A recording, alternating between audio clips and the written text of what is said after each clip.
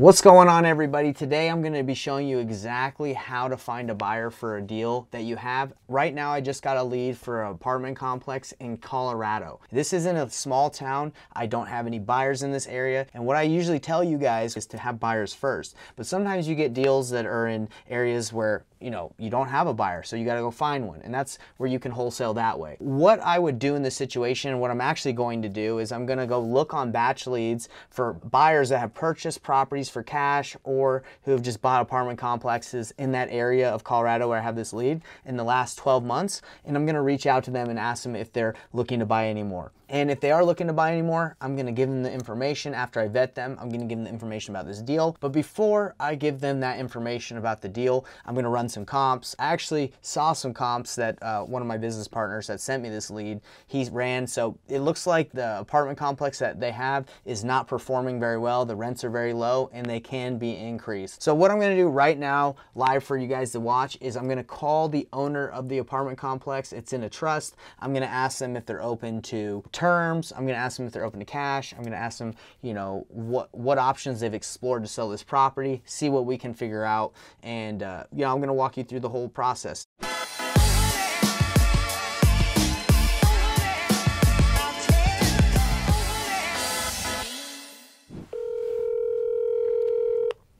Hi, this is Philip. Hey Philip, how you doing? This is uh, Nathan. I think you just got done talking to David the other day about your apartment complex. Oh, okay. Yeah. Do you have a couple minutes to chat, or did I catch you at a bad time? Sure, I have a couple of minutes. Okay. Yeah. So um, David was able to kind of send me the the numbers about the uh, apartment complex that you have, and I I work in the Colorado area specifically, like in Denver and Pueblo, and like kind of the bigger areas. This uh, property is. Um, we've actually never done a deal in this area. Is Salida? Is that is that how you pronounce it? Uh, it's pronounced Salida. Salida. Okay. I was kind of calling just to get a little bit more information. I know he gave gave me a lot of info on his Excel spreadsheet that he sent me, but I was kind of curious of what um, what's the game plan for for you uh, you and your family going forward. Are you looking to um, sell this like for cash to an investor like us and just get it done quickly? Are you open to listing it and just waiting and trying to get like the top dollar? Um, just kind of curious what what your goal is. Uh, no, we're not interested in listing it. Um, you know, if if you're an investor and you're looking for an investment property in a Right. up and coming Colorado mountain town, Mhm. then it's a good fit. And if Right. you're not, it's not a good fit. So uh, looking looking for a cash uh, cash offer. Are you open? Just curious, like right off the bat, I'm just curious. Are you open to selling it on terms if we're able to pay a little bit more than what we'd be able to offer on our cash price? Sure. Okay. Are, do you own it free and clear, or is there a, a existing, you know, There's no mortgage on it. there's no mortgage on it? Okay. Um, have you, if you were to sell it on terms and we were able to negotiate something, do you have a certain amount of money that um, or interest that you would want on the property, like uh, for it to make sense or be worth it to you? You know, uh, uh, my money market's paying close to five. Okay. So So five percent interest rate, and um, do you have a certain amount of money down? I mean, uh, for us, we love to get into these for no money down, but you know that's not always the case. you know, if we could do, I don't know, ten or fifteen percent down would be, it would make it worth our while. Okay. Yeah, totally get it. Yeah, that's why I ask up front, just because you know sometimes the cash offers come in a lot lower, so we like to have other options available.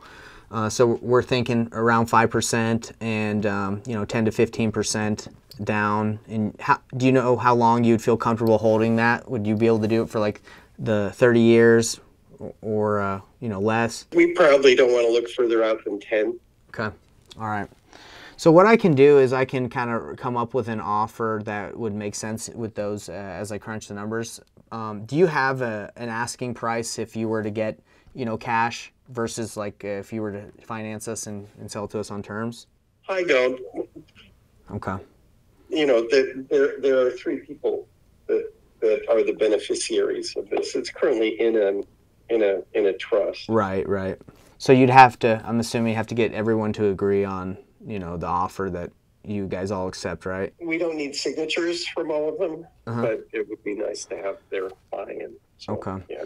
And I think David was telling me that uh, you know three three months to a year is when you'd like to sell this. So it's not like from what I understand, it's not like it needs to get done this month. No, it doesn't need to get done this month, but I I mean, if we're gonna do something, if you and I are gonna keep talking about this, Right. um, I don't, I don't wanna string it along. Yeah. Of course. No, I totally get that. Um, and are are all the? Uh, I think all of them are occupied, correct? All the units. Correct, but they're all on month to month, so. Uh. On the other hand, you know, That makes it easy. the thing about this building is it's one of the most affordable rents I did- in town. It's really under market. Yeah, no, I can definitely see that. You're at six. It looks like six twenty. No, seven hundred is the highest um, one you got that you're renting the building out for, or one of the units. Okay. And, you know, if you have an investor who wants to do a project, hmm I mean, the town is coming up. Yeah. So we might be interested in doing something along those lines. Yeah, that's what we usually like to do. Is we like to go in and update each unit one by one instead of like kicking everyone out and then raise the rents.